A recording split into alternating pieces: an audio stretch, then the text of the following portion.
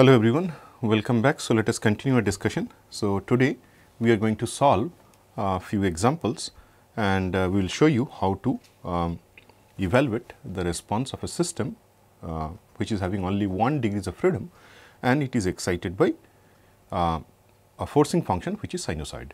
And we have already derived the mathematical model and how to solve that uh, equation of motion. So, uh, let us see how we can solve some example. So, the first problem we are going to consider today, it is a portal frame. So, we have a portal frame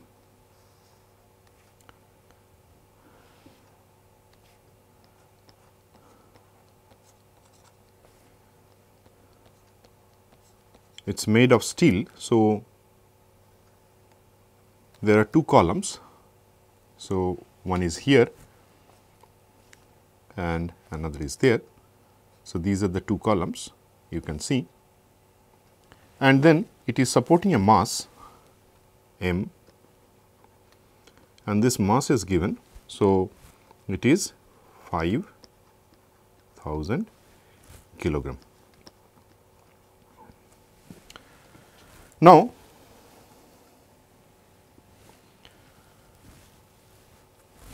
the column has a cross section with a moment of inertia I is equal to 1500 into 10 to the power minus 7 meter to the power 4. So, that is the moment of inertia of the column. It is made of steel obviously uh, we know the Young's modulus of steel that we will see in a minute. Now, the height of these columns they are 3 meter and then this frame it actually supports a machine. So, it supports a machine uh, that exerts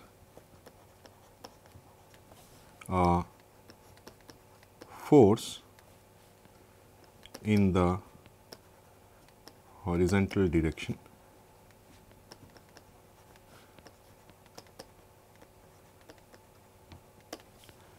and the magnitude of this force. So, f of t in this case is given. So, this is 60,000 sine then 12 t. So, the magnitude of this force you can see here it is in Newton. So, 60 kilonewton force is exerted in the horizontal direction and it is a sinusoidal force. Obviously, the driving frequency you can see in these cases 12 radian per second.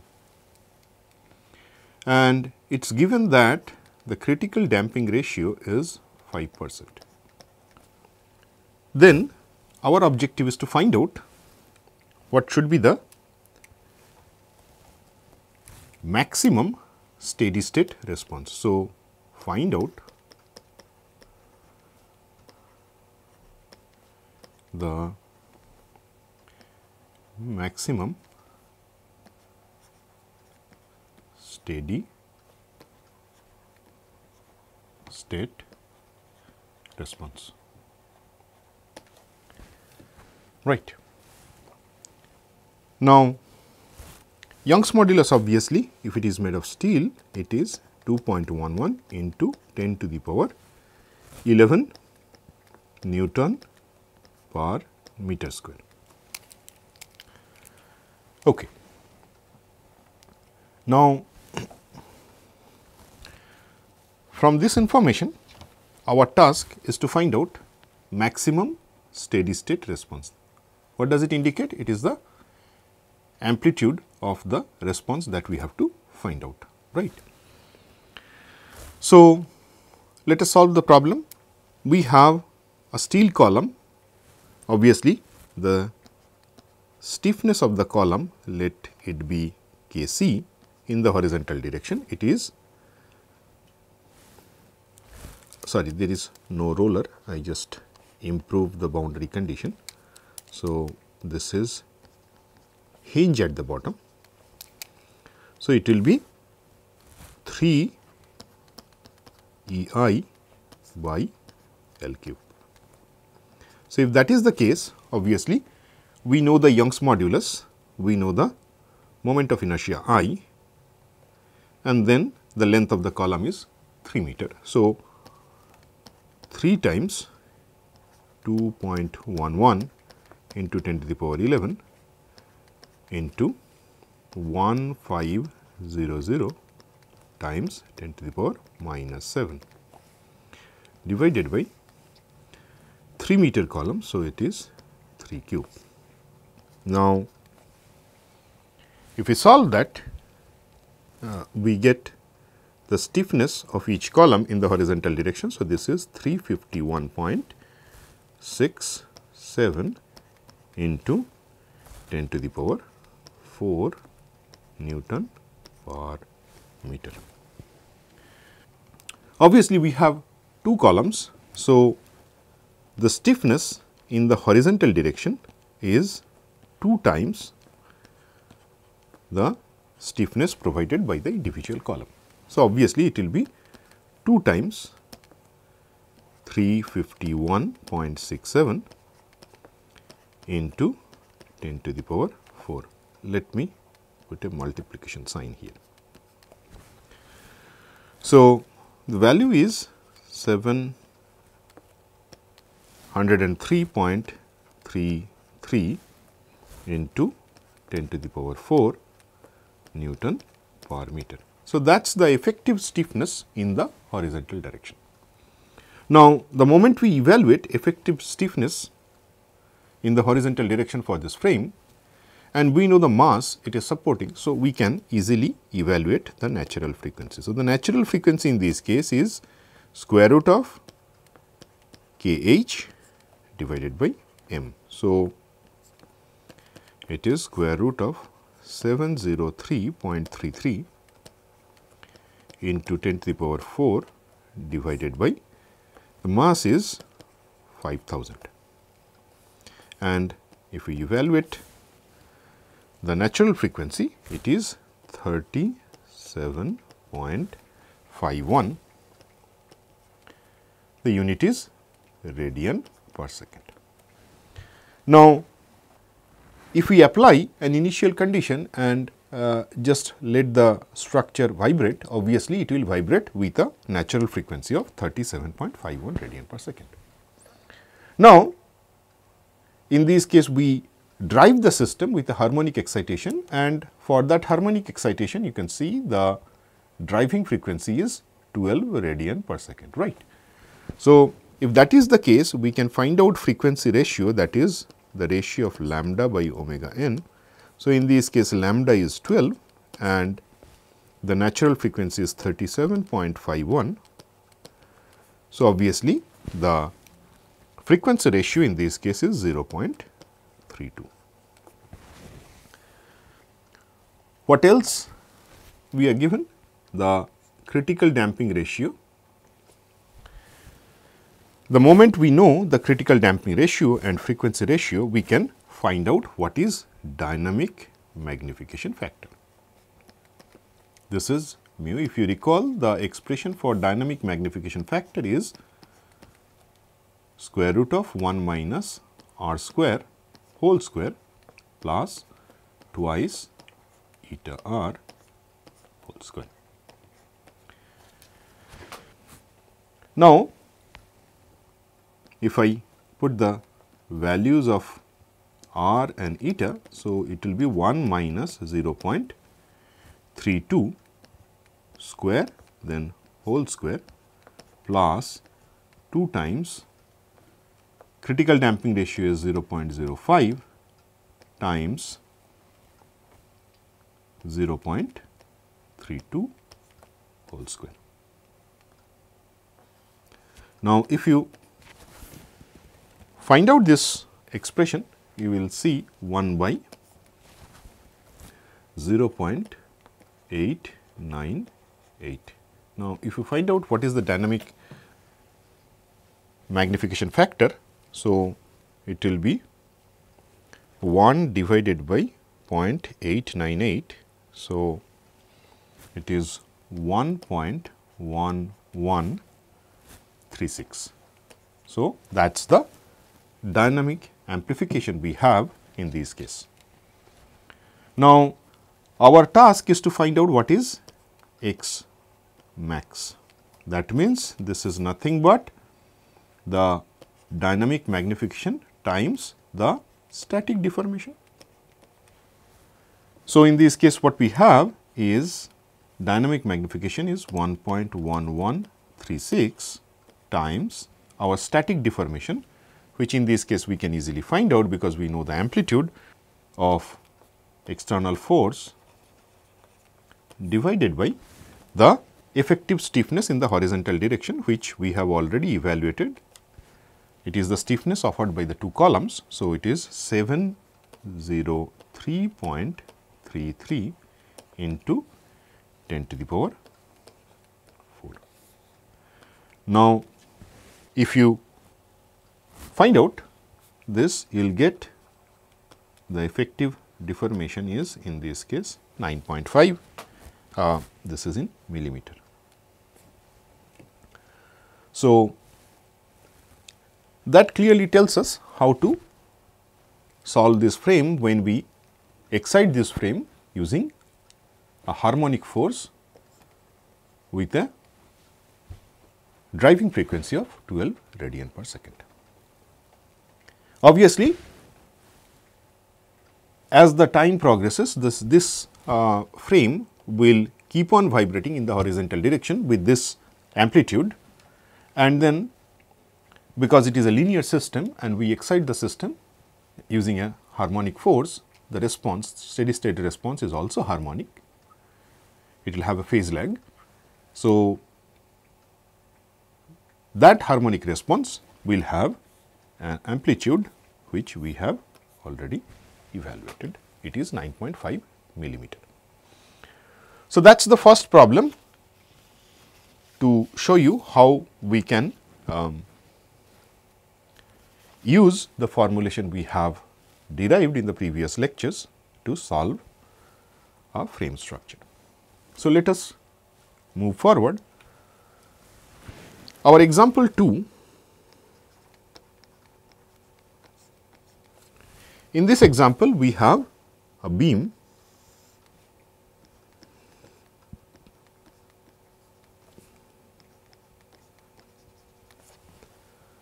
and this beam is massless. So, neglect the weight of the beam.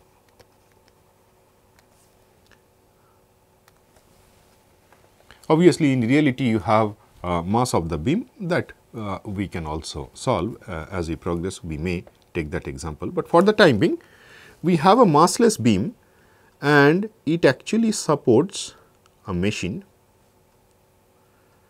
at the center. And this machine it actually rotates with a particular RPM and in this case it is rotating with 600 RPM. Now, the weight in this case is given. Now, this weight is again it is 5000 Newton and because of this weight there will be a vertical deformation. So, the static deformation is given this is 0 to 5 centimeter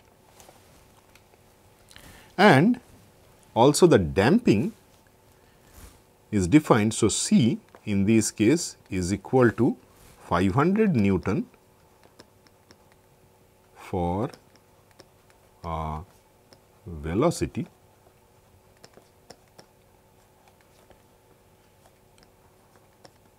for a velocity 2.5 centimeter per second. So, the damping force is proportional to velocity and force is 500 Newton and it is proportional to it is measured at this is defined at this velocity. So, 2.5 centimeter per second. So, our task is determine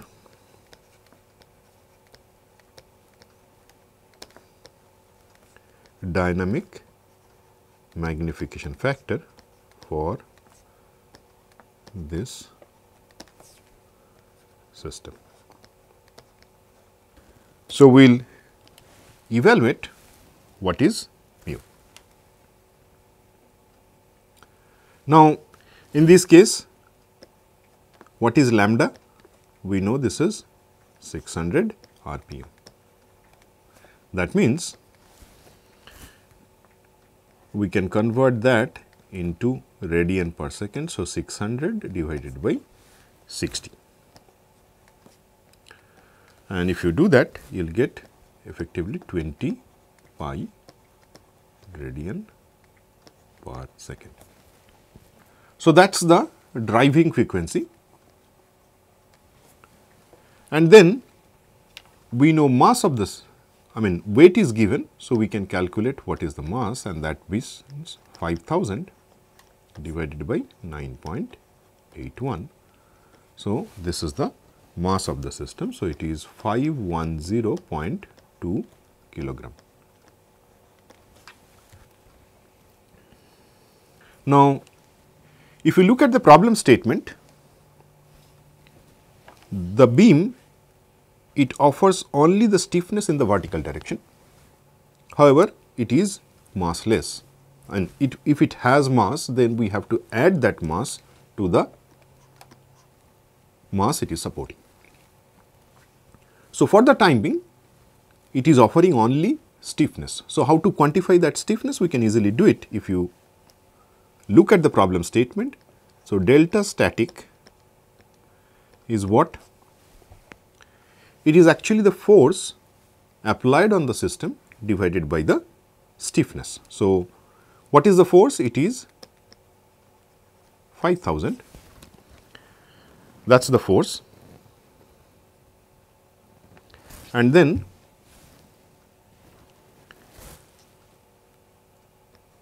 the beam offers a stiffness and then if we solve this what we get k is nothing but 5000 divided by the static deformation in this case it is 0.025. Notice that is in centimeters. So, you have to divide it by 100 and if you do that you will get 20 into 10 to the power 6 Newton per meter. So, now we get the stiffness offered by the beam while supporting this rotating machine. Now, we know the stiffness, we know the mass. So, immediately what we can do, we can calculate what is the natural frequency. So, it is square root of k by m. So, if you put the values, so we have 20 into 10 to the power 6 divided by 510.2 square root of this quantity. And if you do that, you will get 198.0 or 198 radian per second. So, that is the natural frequency. Now, the moment we calculate natural frequency, so what we know now is the driving frequency and the natural frequency. So, the ratio of these two will be the frequency ratio. So, it is lambda by omega n. So, then if we do that it is 20 pi divided by 198 and if you do that you will find out the frequency ratio is again 0.32. Now, our task is to find out dynamic magnification factor. So, the expression for this dynamic magnification factor is 1 minus r square whole square plus 2 times eta r whole square. Now, if you look at the expression, we know the value of frequency ratio which is 0.32, but we do not know what is the critical damping ratio. So, that we can find out. So, what we know that C is defined by this statement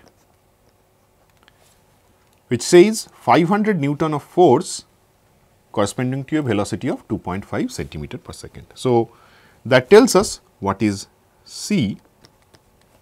C is 500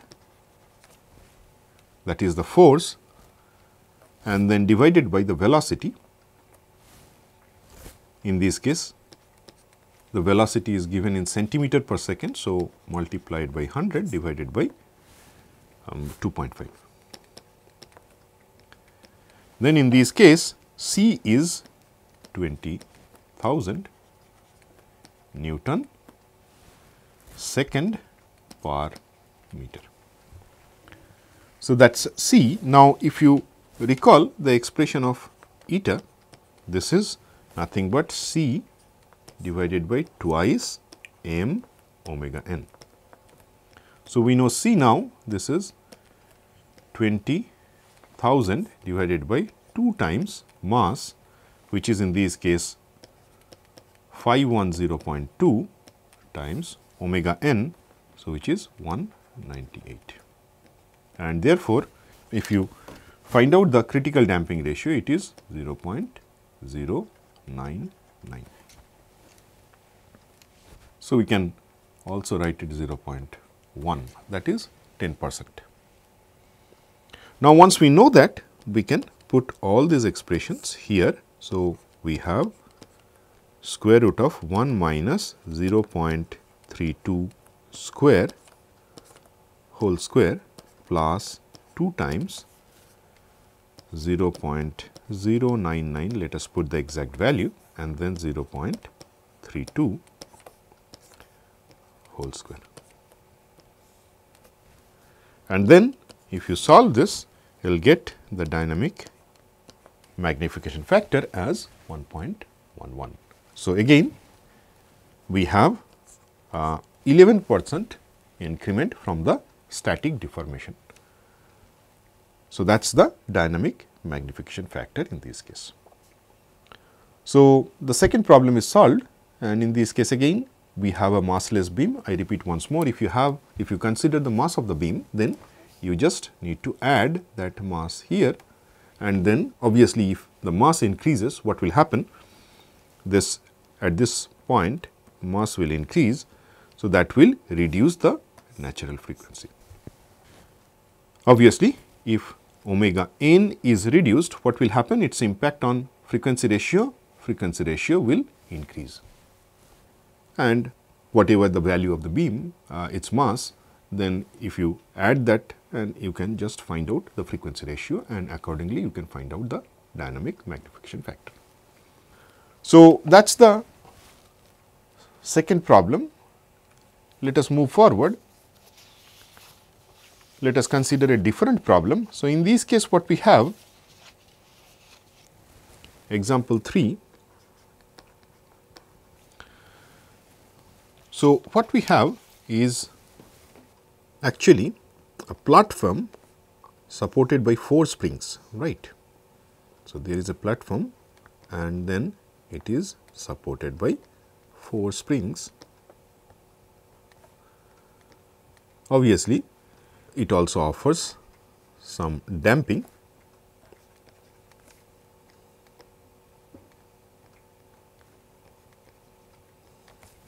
and then over this platform there is a vehicle. So, I just draw it. So, just imagine this is the vehicle.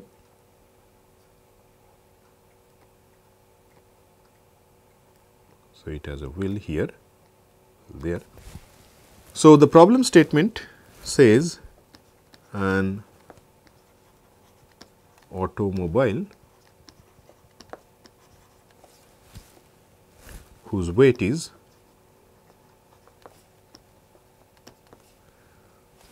weight is 150 kg is mounted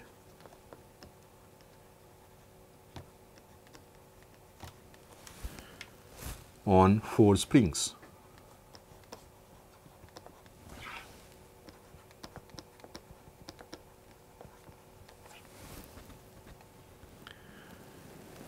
and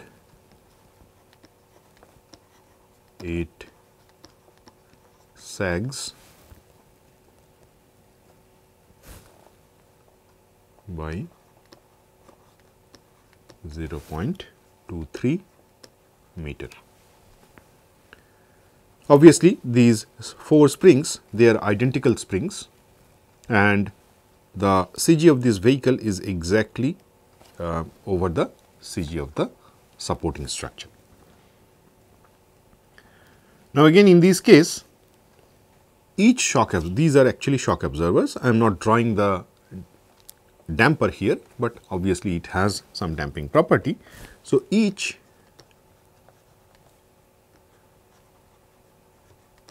shock absorber.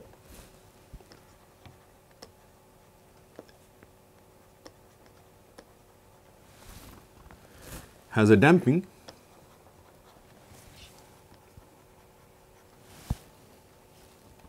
Coefficient.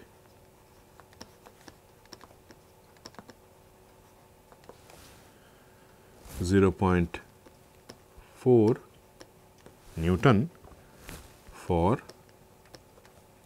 uh, velocity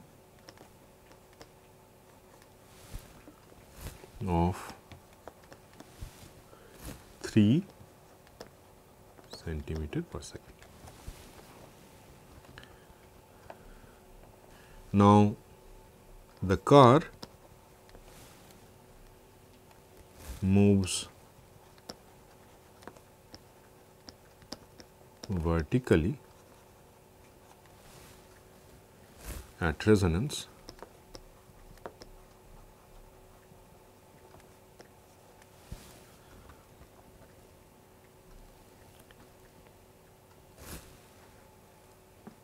with an amplitude of 1 centimeter.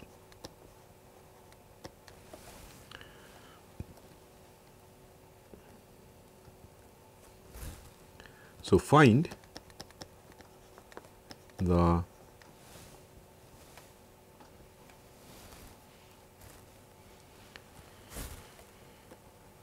amplitude of vibration.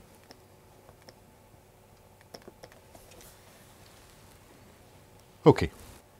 So, let us see how we can solve this.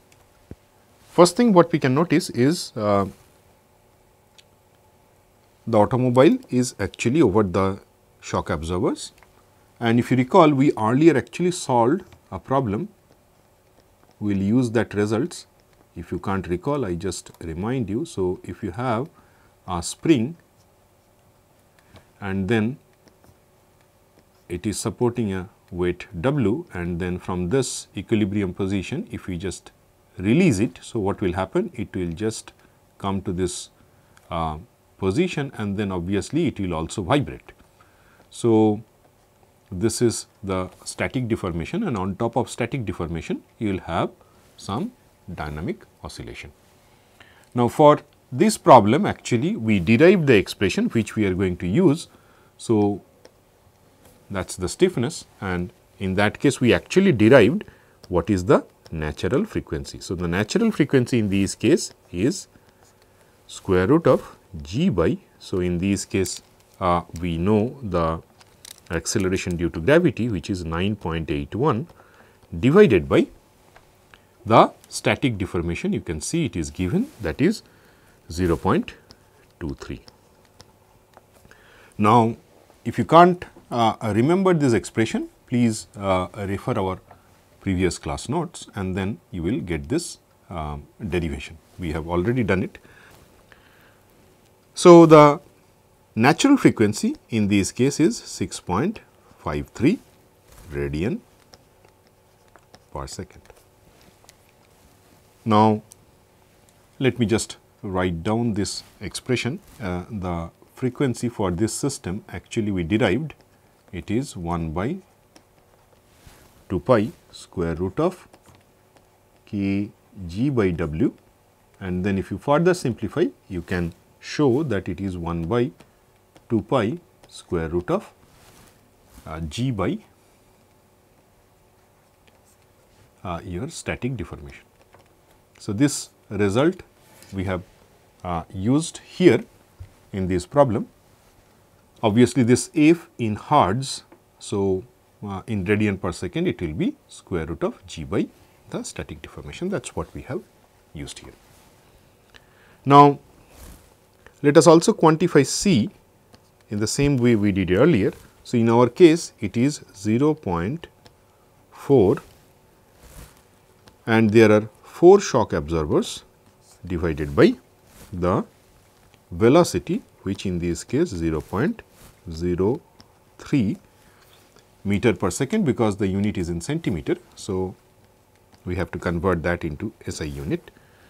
So, if you do that you will get this is the expression is 53.33 again unit is Newton second per meter. Now, if you look at the problem statement, what it says that the platform platform vibrates with an amplitude of say x naught. Obviously, what will be the spring extension?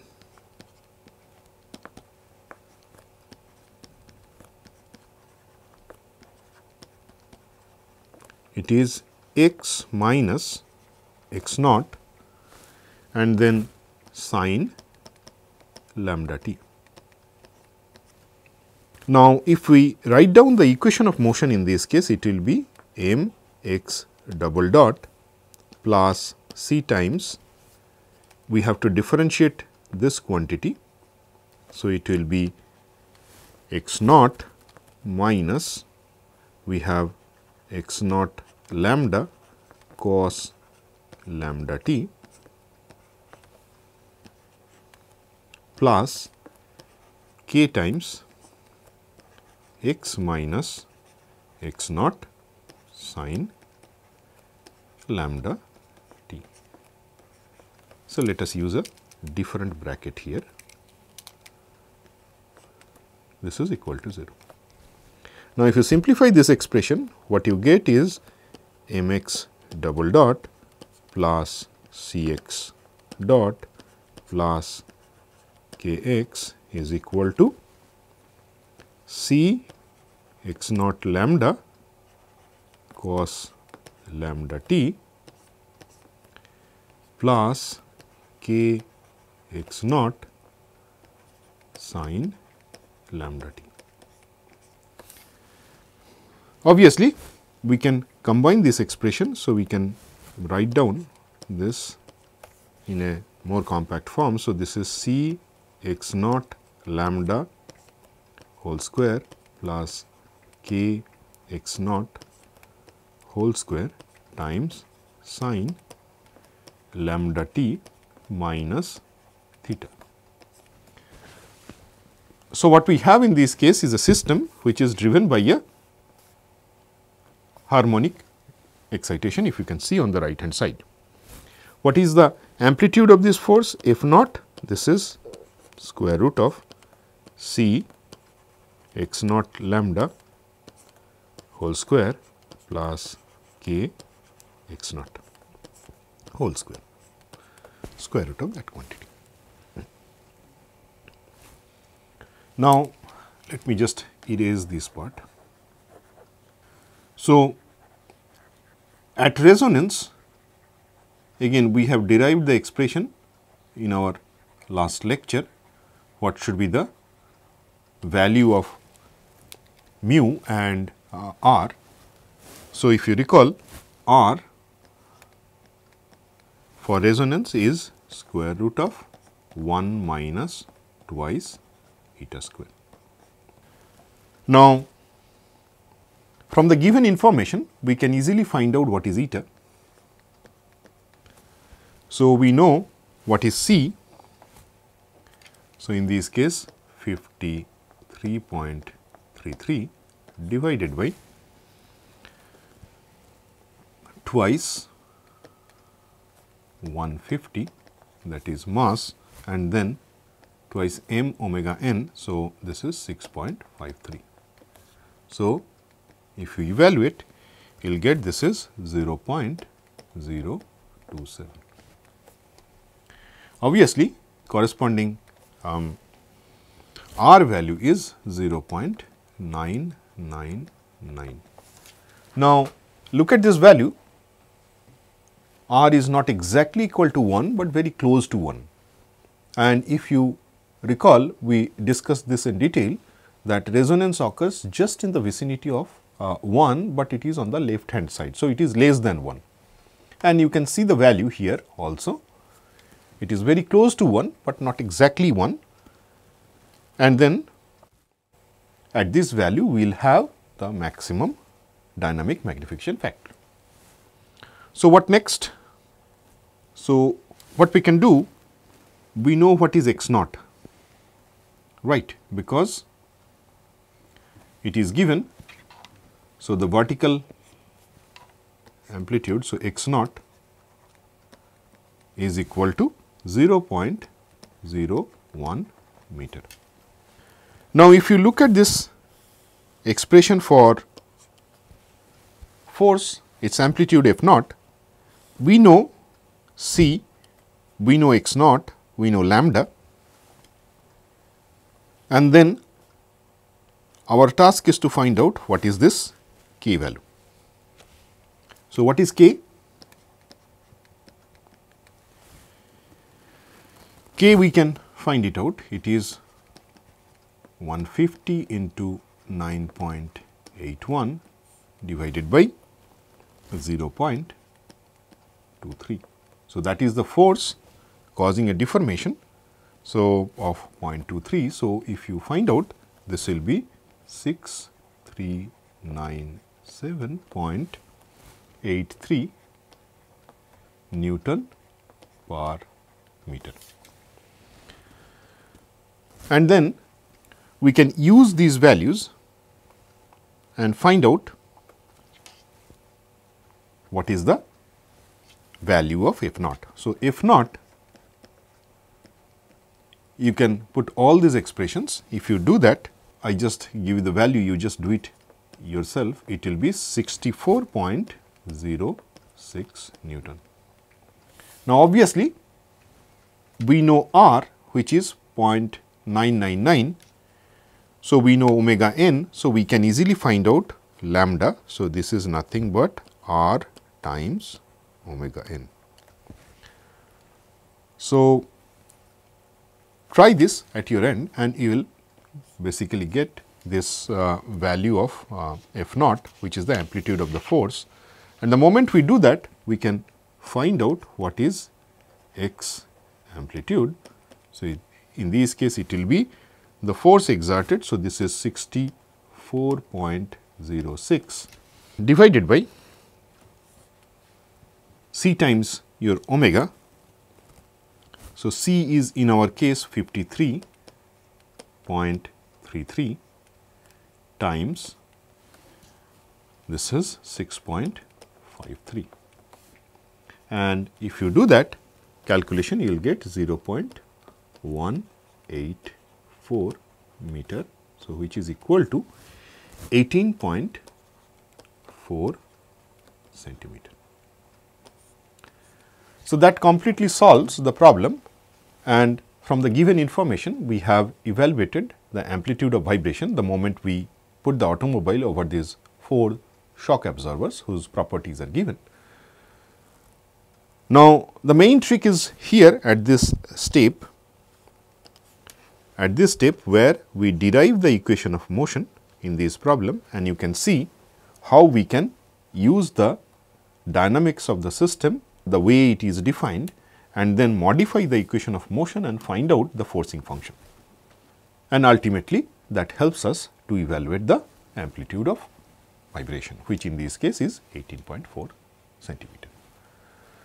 So, with these three problems uh, you now see how we can actually use the mathematical models that we have developed for force vibration of an established system and then uh, those expressions uh, we can use to evaluate the problems uh, when we have uh, in reality this kind of shock absorbers or beams or frames and they are experiencing some kind of harmonic force and we can easily use the concept of dynamic magnification factor to evaluate its uh, dynamic response.